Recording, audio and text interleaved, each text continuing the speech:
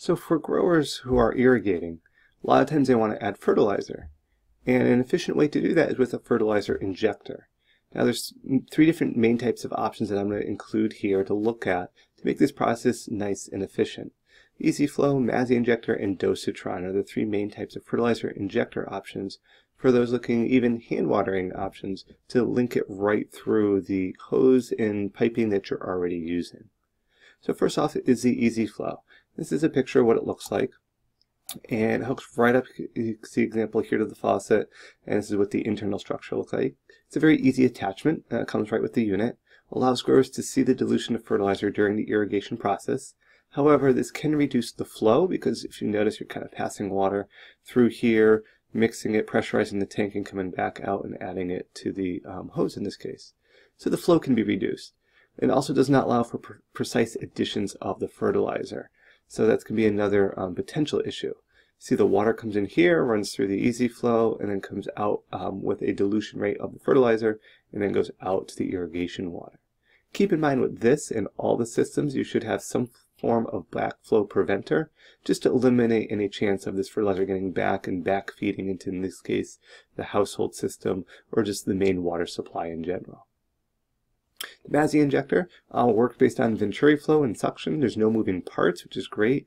Can be used in small and large scale operations. Be sure to match the flow rate to your irrigation system. Now, it does result in about 20% drop in pressure and flow, so that can be a negative if you're already kind of at the limits of your system. This Venturi system, as you can see where you reduce the flow, it picks up the speed here, operates like a carburetor um, system. So you might be familiar with that in some older cars.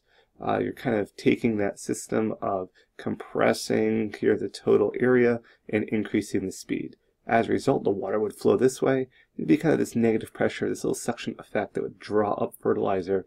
And then on the outflow here, it'd be a water fertilizer mix.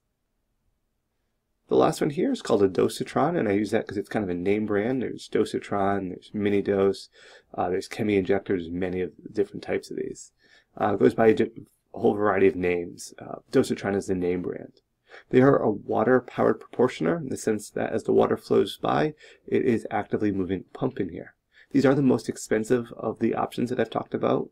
Uh, it has moving parts which do need to be replaced because they do wear over time.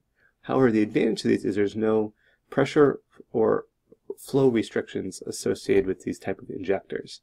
You can also install a bypass here. Uh, so if you're not injecting, you can just run clean water right through it. It does allow for very accurate dosing, which is why they are advised to be used, uh, simply because you can really dial in the exact amount of fertilizer you want to add to your irrigation water. So that's their advantage. Again, their downfall is they are the more expensive option. They do have some moving parts. So as growers, you got to weigh all the um, potential options available to you and pick the one that's the best fit for your given conditions.